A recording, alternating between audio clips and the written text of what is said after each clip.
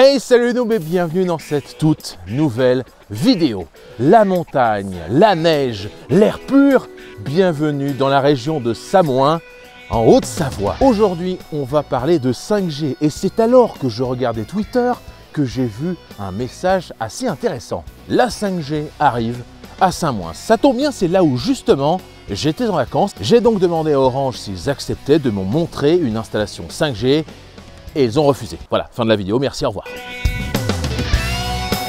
Bien sûr qu'ils ont accepté, bien sûr qu'ils m'ont autorisé à rentrer, on verra ça en toute fin de vidéo. Juste avant, bien sûr, je vais vous présenter un petit peu ce qu'est la 5G, à quoi ça sert, et ensuite on verra 5 choses que vous ne savez pas à propos de la 5G.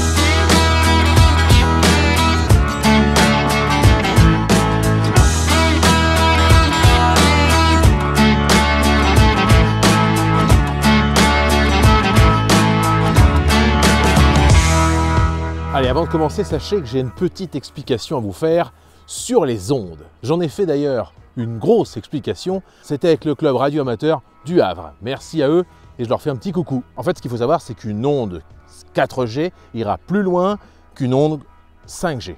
En fait, pour mesurer une onde, il y a trois mots à connaître, fréquence, amplitude et longueur d'onde, la longueur de l'onde. La fréquence, ça va être le nombre de vagues quand je vais jeter ce petit caillou Bof, pas terrible. Là, j'ai lancé un tout petit caillou. Il y avait beaucoup de vagues par seconde. L'amplitude, c'est la hauteur des vagues. La hauteur, est-ce qu'elles sont grandes les vagues ou est-ce que ce sont des toutes petites vaguelettes? Ça, c'est l'amplitude.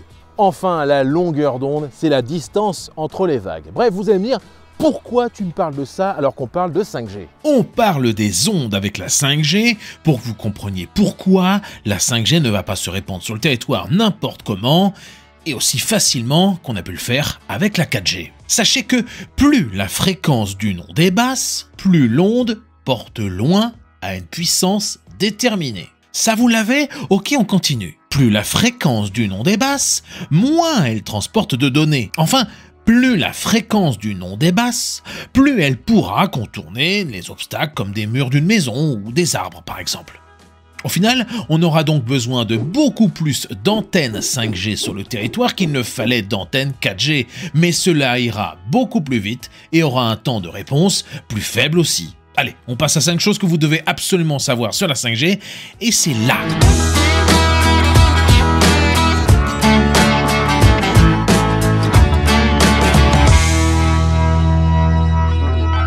Première chose à savoir, la première communication téléphonique sans fil a eu lieu en 1973 par Martin Cooper avec le Dynatac. Le Dynatac, je sais pas comment on l'appelle. Deuxième chose importante à savoir, c'est qu'il y a plusieurs 5G. Oui, je m'explique, ne vous inquiétez pas. Je vous mets ici un tableau statistique avec les différences en termes de mégahertz et la rapidité liée à celle-ci. En fait, il faut savoir qu'il y a euh, de la 5G à 700 MHz, il y a de la 5G à 3,5 GHz et il y aura bientôt de la 5G à 26 GHz. Il en résulte que des fois sur votre téléphone, vous avez de la 5G, pourtant vous avez un débit qui est à peine supérieur à de la 4G+. Du côté d'Orange, on a fait le choix de n'avoir que euh, des antennes à 3,5 GHz. Ça capte loin loin, mais on a une vraie 5G. On va faire le test tout à l'heure. Troisième chose à savoir, eh bien, la principale utilisation de la 5G n'est pas Fortnite ni le streaming. Enfin, c'est peut-être celle qui sert le plus aujourd'hui, mais c'est pas pour ça réellement qu'on a inventé la 5G. En fait, le premier élément qu'il faut savoir déjà, c'est que la 4G, le réseau 4G, était déjà arrivé à saturation. On le voit, et d'autant plus ici en montagne, quand l'ensemble des vacanciers et des touristes arrivent, eh bien, il y a un goulot d'étranglement, on la capte bien, mais on a un débit un petit peu plus faible. On utilisera la 5G demain notamment pour ce qu'on appelle des smart cities, des villes intelligentes ou même des smart industries, des industries intelligentes qui vont être ultra connectées. Ces villes intelligentes vont être améliorées grâce à l'IoT, l'Internet of Things, l'Internet des objets, votre monde connecté, un chauffage connecté, un détecteur de niveau d'eau connecté, pourquoi pas des canons à neige connectés qui vont envoyer de la neige que lorsqu'éventuellement il y en a besoin, mais pour faire fonctionner tous ces objets, ou pour tout simplement y avoir accès sur une application sur son smartphone, il faut un bon réseau 4G et bientôt 5G. Tiens, autre élément euh, très utile pour la 5G, c'est l'automobile. Bientôt, on aura, je l'espère, des voitures autonomes.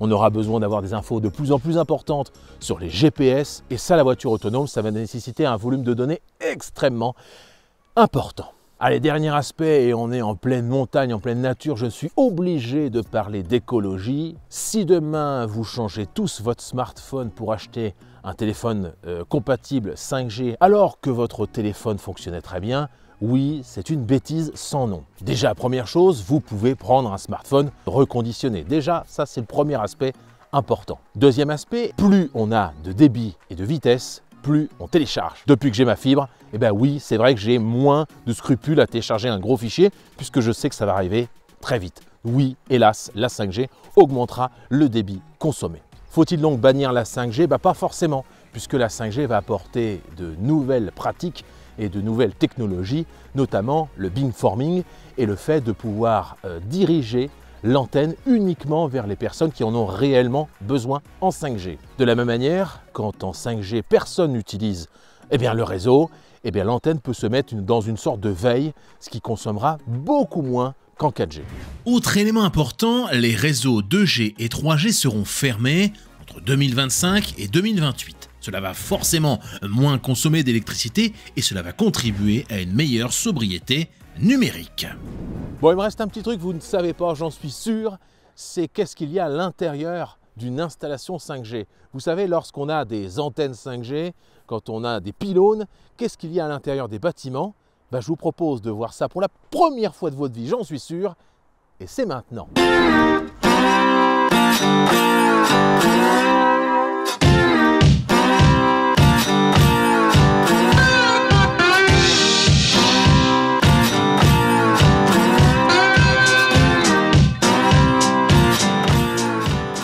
J'ai donc visité une installation complète en plein cœur de Samoin grâce à Orange. Vous allez le voir, elle diffuse de la 4G, mais pas encore de 5G.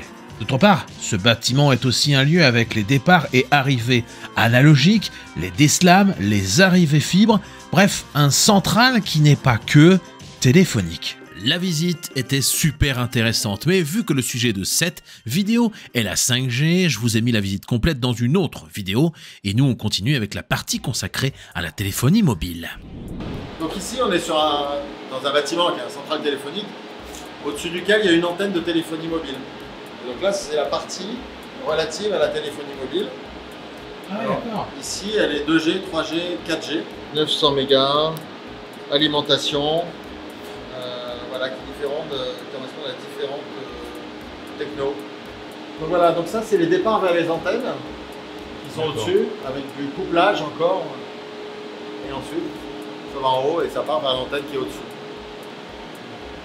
Donc si les équipements 4G qui ont été installés sont des équipements récents, l'ouverture de la 5G dessus en fait ne nécessite pas euh, de rajouter ici en bas dans le local technique euh, de nouveaux équipements. Il y a évidemment du paramétrage, peut-être une version logicielle euh, différente, mais la modification en bas dans le local technique euh, n'est pas énorme. La, modification la plus visible quand on ouvre la 5G, c'est en fait c'est l'antenne que l'on voit sur le pylône euh, ou sur le mât, qui est une petite antenne carrée qui vient le plus souvent au-dessus de l'antenne blanche verticale que l'on voit la plupart du temps sur les pylônes. J'ai pu tester la 5G, notamment près de Cluse. Très proche de l'antenne, à 17h, j'ai obtenu 742,6 mégabits. Un score très honorable et avec une latence de 18 millisecondes. La prochaine étape pour Orange sera la 5G standalone dès 2023 avec un nouveau réseau dorsal qui reliera tous ces sites mobiles 5G et qui boostera encore plus les performances. Ce sera notamment le cas au niveau de la latence. La 5G sera aussi capable de créer des classes de services pour prioriser par exemple un service de secours ou une entreprise en particulier, et ça, Damien Billard nous en parle de suite, près d'une autre installation 5G cette fois-ci, et un record de vitesse pendant mon séjour avec 761 mégabits. Damien, merci de m'accueillir sur Samoin. Bonjour Jérôme. Bonjour. Euh, on dit Samoin ou Samoins? Alors je crois que les Hauts-Savoyards sont très attachés à ce qu'on dise Samoin. On dit Samoin, on dit pas Samoin. Merci Damien. Damien, nous sommes euh, eh bien, devant une installation assez euh, euh, impressionnante. Ben justement, quelle est cette installation qui est derrière nous? Alors derrière nous, c'est un pylône qui supporte de nombreux services de télécom, de télévision, qui est idéalement placé au-dessus de Samoa. Et c'est pour ça que d'ailleurs il y a beaucoup de monde sur ce pylône. Il n'y a qu'Orange qui est ici ou c'est multi-opérateur sur cette antenne, sur ce pylône pardon Alors sur ce pylône, effectivement, parce qu'on parle de pylône, il y a plusieurs antennes. Euh, des antennes de téléphonie mobile, donc là de trois opérateurs dont Orange, et puis des antennes de télévision. Et enfin des antennes euh, qu'on appelle des faisceaux hertziens, qui sont plutôt des paraboles qui servent à transmettre des signaux euh, pour ensuite alimenter les fameuses antennes euh, soit de télévision, soit de téléphonie mobile. Et tout à l'heure, ce que vous m'avez fait voir, c'était quoi? C'était uniquement orange, on est d'accord? Oui, tout à l'heure, c'était uniquement Orange avec à la fois un central téléphonique dans lequel on a le téléphone, l'Internet, la fibre optique, et puis aussi juste au-dessus une antenne de téléphonie mobile euh, où il n'y a que Orange pour le coup. Moi j'avais une petite question parce que la vidéo était justement sur le thème de la 5G entre guillemets, si je puis dire, pour des personnes qui ne connaîtraient pas cette technologie, c'est quoi la 5G et pourquoi est-ce que ça pourrait me servir? Double question. Alors la 5G, bah, c'est simplement la cinquième génération. Le G, c'est génération. Euh, en général, il y a environ euh, une génération tous les 10 ans. Et alors pourquoi la 5G bah, Aujourd'hui, c'est la garantie, quand on a le téléphone qui va bien et le forfait qui la permet, d'avoir le meilleur du réseau mobile à l'endroit où on se trouve le plus rapide, euh, quelle que soit notamment l'affluence, le nombre de gens qui utilisent les réseaux mobiles euh, autour de soi. J'imagine que l'intérêt de la 5G, c'est pas que pour moi, euh, citoyen, c'est aussi pour les collectivités territoriales ou pour les entreprises Alors ici, on est dans une station de ski, Samoa, dans un territoire qui, de façon générale, de toute façon, est très touristique et en général, on est bien accueillis et la 5G est très attendue parce qu'il y a une forte affluence saisonnière. Tous les touristes qui viennent, ils ont envie de rester connectés, soit pour envoyer les jolies photos. Instagram. Voilà, les réseaux. Et aussi de plus en plus pour continuer parfois de travailler. On a des gens qui prennent des vacances plus longues et au milieu qui font du télétravail. Donc en résumé, si je comprends bien, la 5G, ça ne sert qu'à aller plus vite. Alors ça sert à avoir une bonne qualité de réseau mobile, aller plus vite. Et puis demain, il va y avoir de nouvelles fonctionnalités. Donc demain, c'est quand même très bientôt. Où, euh, par exemple, on aura une latence. Donc c'est l'instantanéité de réaction du réseau euh, qui sera quasiment immédiate. Et ça, ça ouvrira de nouveaux horizons euh, pour des applications, des objets euh, qui ont besoin qu'il n'y ait aucun retard absolument dans la transmission d'informations ou la réaction. Pour l'industrie, ça peut également euh, être la porte ouverte à des objets connectés plus nombreux parce que cette norme, ce standard technologique intègre le fait qu'on puisse connecter beaucoup d'objets à l'antenne alors qu'aujourd'hui on est plafonné. Et justement, vous me disiez aussi, parce qu'on a parlé hors antenne et c'était vraiment très intéressant, qu'on pourra demain faire des priorisations de flux, c'est ça euh, Prioriser pour certains services? C'est également prévu dans la norme 5G la capacité pour les opérateurs de euh, donner la priorité à certains clients plutôt que d'autres euh, s'ils le souhaitent, s'ils en ont besoin. Exactement, voilà, typiquement en cas de forte affluence. bien plutôt que le réseau soit saturé pour tout le monde, y compris pour les, forces de secours, et bien qu'on arrive à prioriser des utilisateurs particuliers, ce qui est très demandé dans un usage plutôt industriel. Il, y a deux modifications visibles quand on allume la 5G sur une antenne de téléphonie mobile. Les antennes qui sont plus carrées que rectangulaires, en général elles sont au-dessus, elles peuvent être à côté ou en dessous. Et puis il y a un deuxième petit détail qui en général ne trompe pas quand on connaît un peu, c'est une euh, petite antenne GPS qu'on voit là, la boule. Alors pourquoi? C'est pour euh, parce qu'une des promesses de la 5G, c'est une euh, latence euh, divisée par 10, c'est une euh, instantanéité de réaction. C'est non seulement beaucoup de débit, mais une réaction quasi immédiate du réseau. Et pour, ça nécessite une synchronisation parfaite, en fait. Et pour avoir cette synchronisation parfaite à la, je ne saurais pas dire, peut-être à la milliardième de seconde ou à la milliseconde, quelque chose comme ça, on utilise des signaux satellites qui, eux, sont parfaitement synchronisés.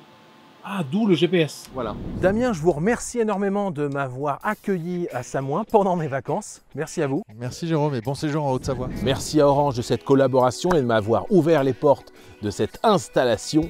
Merci à vous d'avoir suivi la vidéo. Si elle vous a plu, comme d'habitude, le pouce bleu, on commente et on partage. À la semaine prochaine et salut, bande de nous.